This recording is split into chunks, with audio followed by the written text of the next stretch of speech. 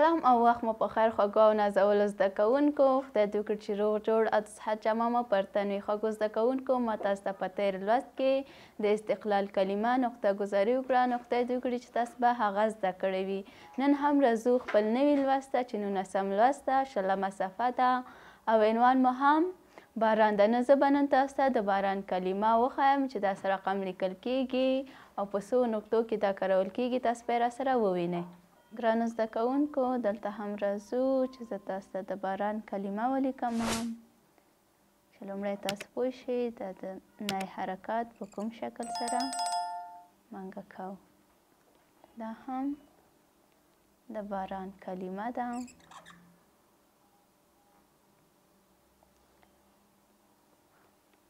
خوږو زده کوونکو زه به تاسو ته یو ځل بیا هم وکاروم او نقطه ګذاری به هم تاسو ته پکې وښایم تر څو تاسو یې ووینئ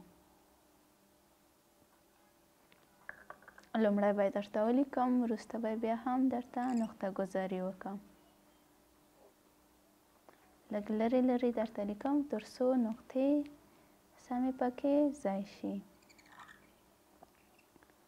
دا هم نون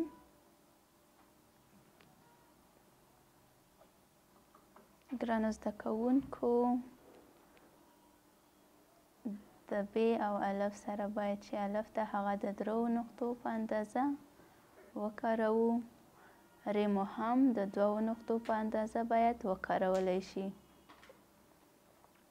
ورپسې هم الف ده چې الف په هر ځای کې باید د دریو نقطو په اندازه موږ ویې کاروو.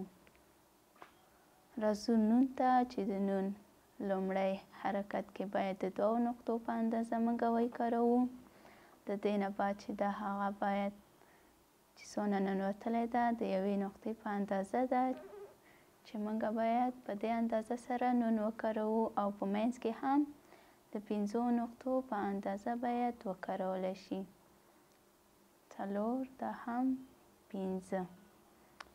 ګرانو زده کوونکو دا هم هغه پنځه نقطې دي چې په پنځو نقطو سره زموږ نون پوره کیږي یو نقطه دوه درې څلور پنځه دا هم پنځه نقطې دي چې د نون منځ کې باید پنځه نقطې راشي زه یو ځل بیا هم تاسو ته کاروم تر څو تاسو ورته متوجه شئ چې کوم حروف پکې راځي د الف ر، الف او دا هم نون. ګرانو زده کوونکو تاسو وینئ چې دا د باران کلمه له څو حروفو څخه جوړه شوه؟